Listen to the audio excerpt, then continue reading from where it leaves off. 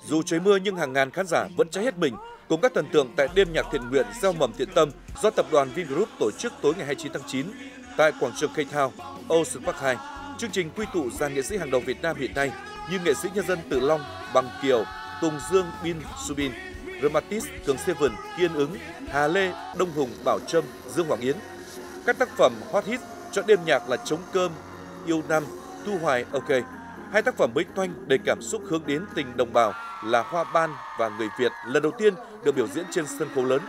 Đây là chương trình nằm trong chuỗi sự kiện giao mầm thiện tâm được tập đoàn Vingroup phát động từ ngày 19 tháng 9 đến hết ngày 30 tháng 9. Trong đó, hội trợ ươm mầm yêu thương được tổ chức tại quảng trường Grande nhằm đóng góp 50 đến 100% doanh thu bán hàng cho quỹ. Giải đi bộ và giải chạy vươn mầm hy vọng diễn ra tại khu vực The thu hút trên 10.000 người tham gia. Trong đêm nhạc, ban tổ chức ban đấu giá được hai hiện vật với số tiền 1,7 tỷ đồng để ủng hộ quỹ. Đến nay, tổng số tiền ủng hộ được tiếp nhận là trên 21 tỷ đồng. Số tiền này được dành để xây dựng lại khu bán trú cho 500 học sinh trường trung học cơ sở và trung học phổ thông Bát Sát ở tỉnh Lào Cai và xây mới phòng học, nhà để xe cho 300 học sinh trường tiểu học và trung học cơ sở Tân Đồng ở tỉnh Yên Bái. Trước đó, tập đoàn Vingroup đã triển khai gói 250 tỷ đồng hỗ trợ cho đồng bào chịu thiệt hại do siêu bão Yagi và mưa lũ kéo dài.